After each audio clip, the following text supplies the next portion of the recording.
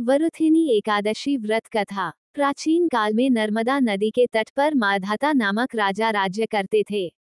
वह अत्यंत दानशील तथा तपस्वी थे। एक दिन जब वह जंगल में तपस्या कर रहे थे, तभी न जाने कहाँ से एक जंगली भालू आया और राजा का पैर चबाने लगा।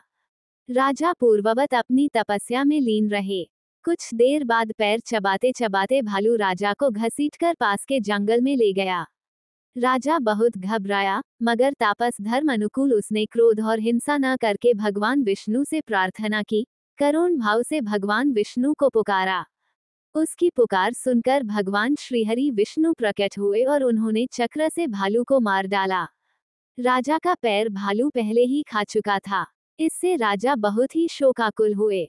उन्हें दुखी देखकर भगवान विष्णु बोले, हे वत्स शोक मत करो। तुम मथुरा जाओ और बौथिनी एकादशी का व्रत रखकर मेरी वराह अवतार मूर्ति की पूजा करो। उसके प्रभाव से पुनः सुदृढ़ अंगों वाले हो जाओगे। इस भालू ने तुम्हें जो काटा है, ये तुम्हारे पूर्व जन्म का अपराध था। भगवान की आज्ञा मानकर राजा माधाता ने मथुरा जाकर श्रद्धापूर्वक बौथिनी एकादशी का व्रत किया। इसके प्रभाव से राजा शीघ्र ही पुनः सुंदर और संपूर्ण अंगों वाला हो गया। इसी एकादशी के प्रभाव से राजा मारधाता स्वर्ग गए थे। जो भी व्यक्ति भय से पीड़ित है, उसे वौथिनी एकादशी का व्रत रखकर भगवान विष्णु का स्मरण करना चाहिए। इस व्रत को करने से समस्त पापों का नाश होकर मोक्ष मिलता है।